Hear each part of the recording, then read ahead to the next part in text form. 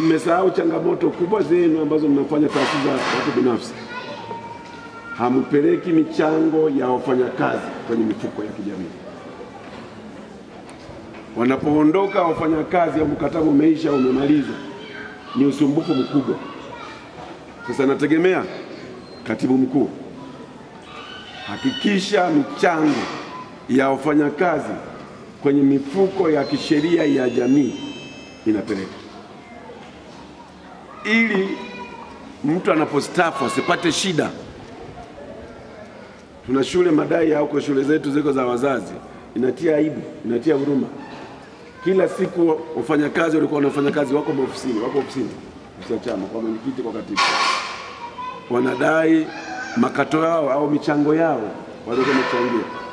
Sasa na sisi kiwe kimbilio cha watu kufanya kazi hapa wazuri wakiwa na, wakiwa na imani kwamba michango yao watakaochangia watalipa.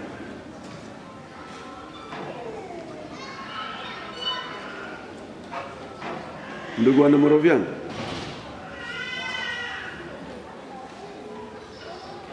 ametoa ombi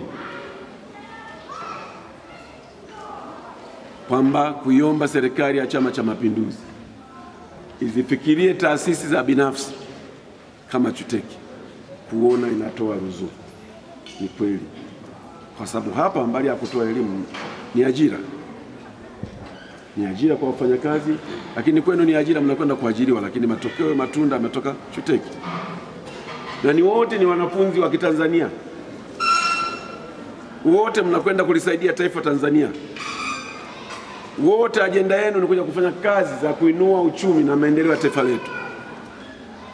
Kuna haja ya serikali ya Chama cha Mapinduzi, na kwa sababu Mheshimiwa Rais ni msikivu na mwanamama mwenye huruma, ili najua atalisikia, atafanya mchakato wa kuona namna atakavyosaidia hizi taasisi za kibinafsi, kwa sababu uchumi wote duniani hauendeshwi na serikali.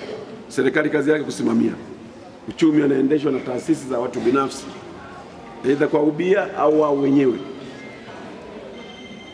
na kodi kubwa serikali inakusanya kupitia taasisi hizo, si mnalipa kodi? Ni kipato kwa taifa.